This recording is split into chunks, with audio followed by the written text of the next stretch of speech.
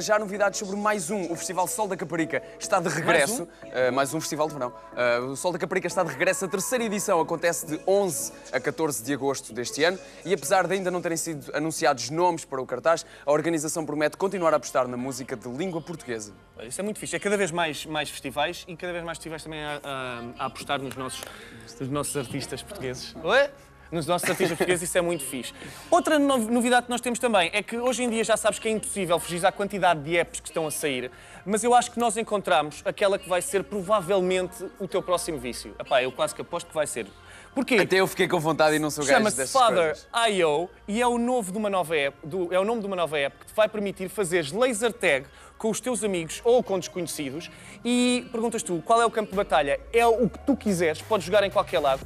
E para jogar, o que é que tu precisas? Precisas de ter a app, que é gratuita no teu telefone, mas depois, se quiseres jogar com, com outras pessoas, uh, tens de comprar um acessório de infravermelhos que acho que anda à volta dos 20 dólares, ou o que é que é.